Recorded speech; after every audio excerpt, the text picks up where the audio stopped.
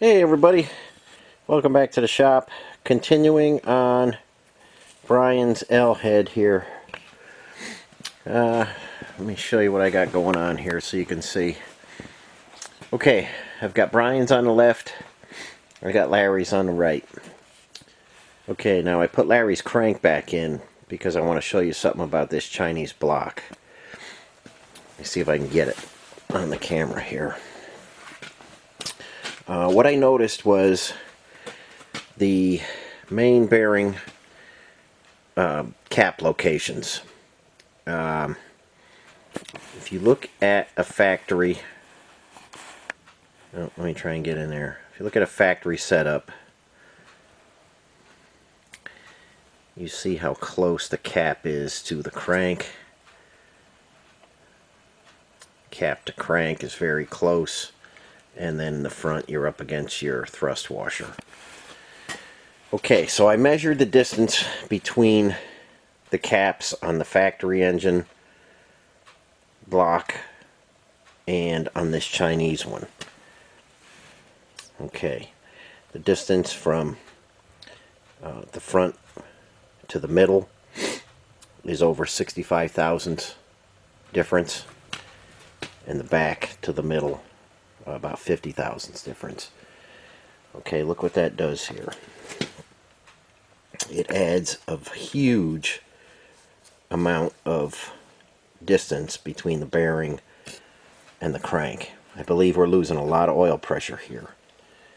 Same thing in the back, very huge gap there. And as you can see, we're tight against the thrust bearing in the front. Uh, I do not like um, the, the the main bearing saddles. I do not like them in the Chinese block. I don't believe that this engine could have had good oil pressure when it was running. Um, the valves, and we'll get to the valves. The valves themselves are worn incredibly. The guides are 30 thousandths bigger than they should be. Uh, there is a terrible amount of wear in this engine. I'm going to pull these caps and show you what I found uh, when I pull the caps off. I'll show you the condition of those. Um, crankshaft is rough. You can hear my nail catching on that. So, uh, let me get set up. I'm going to show you uh, what we found when I took those off. Okay guys, let's pop off this front main cap.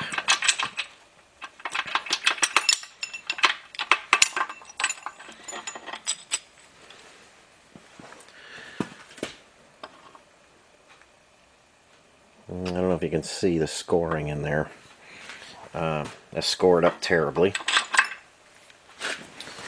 Um, I don't know why it's this bad. I don't know if they put this together on the beach or um, just had some grit in there. I don't know how they get this bad, but um, this is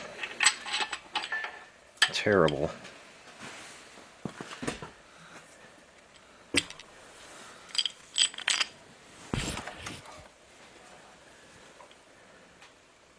I scored up horribly.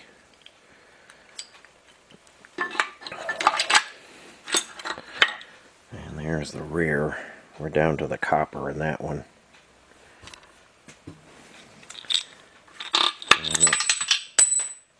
Kind of tough to see. Let me see if I can get you in there.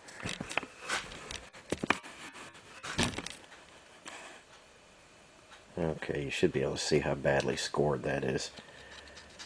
Um, the bearings are shot. It's just, it's just a disaster in there. Um, everything is about as bad as you can imagine it would be. I mean, this is crazy for, from what I understand, this engine has 3,000 miles on it. Um,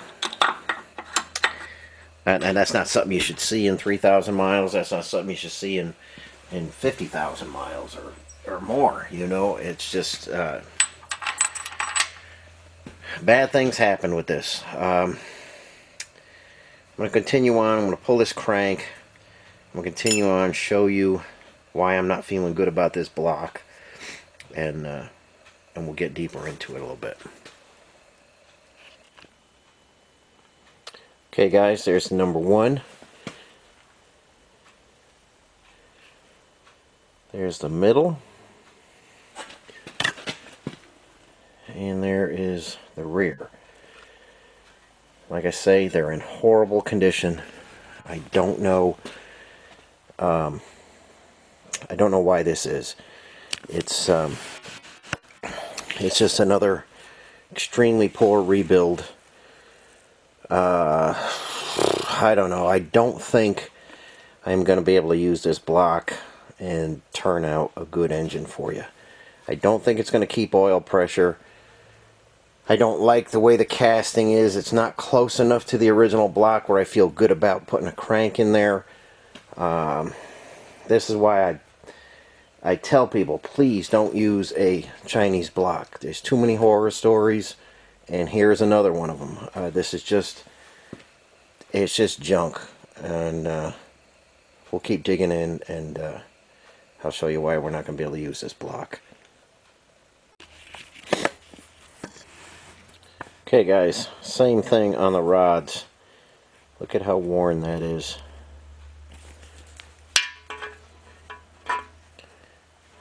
Get you in on that cap.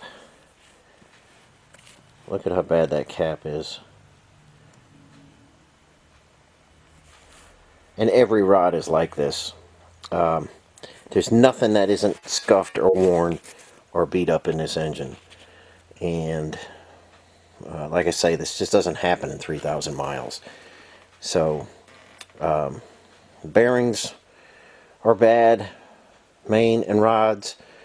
Uh, casting is way off and we'll get into the valves and uh, we'll flip the block over and I'll show you a little bit more stuff. Okay, I've got the block in, in regular position here. Uh, the deck surface here uh, is in is in terrible shape. Uh, you could get a 6 thousandths feeler gauge in a lot of places on there. Uh, I'm not even going to bother showing you. It's so bad. Uh, the valve job here, uh, the Chinese blocks, looks like they put seats in everywhere. Um, some of them look like it just got a wipe with a 45 degree cutter. Others are severely beat up by the valve bouncing around. There's actually stuff my nail can catch there. Uh, this one seems to be okay. Um, I don't know who would do a valve job like this. Uh, maybe. Um, I don't know who would do it. Maybe somebody in their backyard with, with rocks from the from the driveway. Uh, the valve job is horrible. Um, we're not sealing. We're not. You know, nothing good is happening here. Um, we're, we're not the valves aren't sealing at all. So, um, that's not terrible. That can be fixed. But I don't know why the valves wore so bad. So I'm going to get the valves out and I'm going to show you how much the valves wore and how much the guides are worn. Um, again, I don't like the block. I don't feel comfortable. I don't think I'm going to be able to put out a, a good engine for you, uh, Brian. Uh, I think we should look for another block. I know that you bought this engine in, in good faith and you thought it was going to be a good engine. Uh, I'm not sure who sold it to you. Uh, the engine builder uh, should have picked up on this, I, I, believe, when he was building this engine. Uh, it's not built to any kind of quality standard. So, uh, just a lot of bad juju with this engine. A lot of bad stuff going on here. So, let's look at the valves next. Okay guys, just got an exhaust valve and a guide here. Uh, exhaust valve has worn tremendously.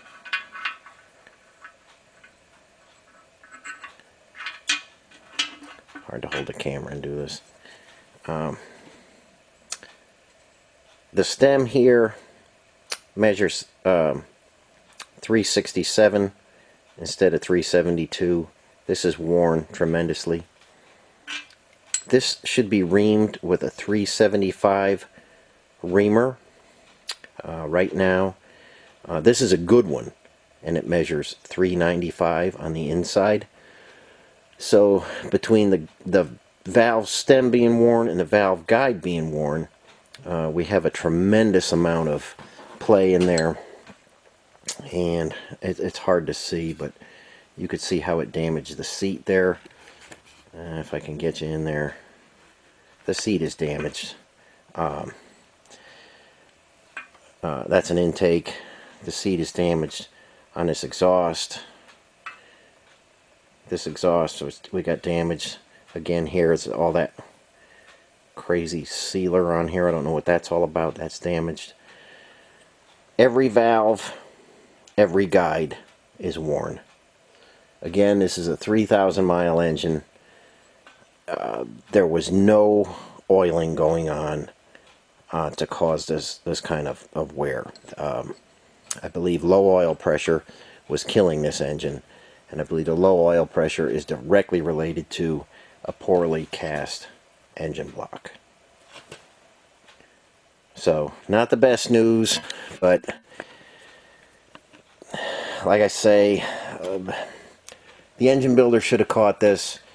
Uh, the bores aren't straight and true.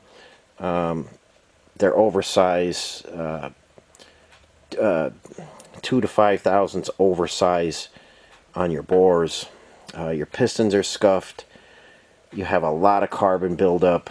Um, again, I don't know what kind of ignition you're running. I don't know what kind of carburation you're running. It seems like you were constantly running with the choke on for the amount of carbon that's in here. Um, I don't know enough about this engine and I don't have all the components to fire it up and seeing what I'm seeing in this block I, I don't feel you're going to get an engine that will last or an engine that you're going to want to put in your Jeep with this particular block. Uh, now I know you spent some money to buy it but um, if you have another block Brian um, uh, we're going to need one your crank may be able to be polished. It's 2020 right now. I might have to take it to 3030. I don't think I can polish it, but I'll try.